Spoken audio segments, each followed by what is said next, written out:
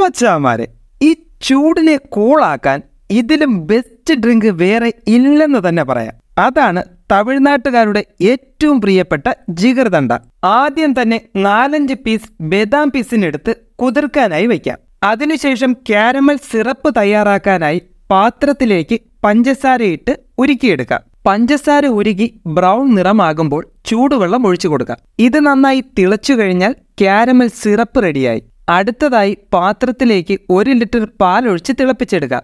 പാൽ തിളച്ചു വരുമ്പോൾ കാരമൽ സിറപ്പ് കൂടി ചേർത്ത് കൊടുക്കുക. ഒരു ലിറ്റർ പാൽ കുറുകി അര ലിറ്റർ ആകുന്നതുവരെ തിളപ്പിച്ചതിന് ശേഷം തണുക്കാനായി ഫ്രിഡ്ജിലേക്ക് മാറ്റാം. ഗ്ലാസ്സിലേക്ക് കുതിർത്ത ബദാം പിസിൻ നറുനീണ്ടി സിറപ്പ് നന്നായി തണുപ്പിച്ച പാലും കൂടി ചേർത്ത് നന്നായി മിക്സ് ചെയ്തെടുക്കാം. മുകളിലായി ഒരു ഐസ്ക്രീമും അല്പം നറുനീണ്ടി സിറപ്പും കൂടി ചേർത്ത് കഴിഞ്ഞാൽ നമ്മുടെ അടിപൊളി ജിഗർദണ്ഡ റെഡിയായി. രുചിയുടെ കാര്യത്തിൽ ഒന്നും പറയാനില്ല. കിഡിലോസ്കിയാണ്. അപ്പോൾ തീർച്ചയായും ട്രൈ ചെയ്ത് നോക്കുക. വീഡിയോ ഇഷ്ടപ്പെട്ടാൽ സപ്പോർട്ട് ചെയ്യുക. Bye bye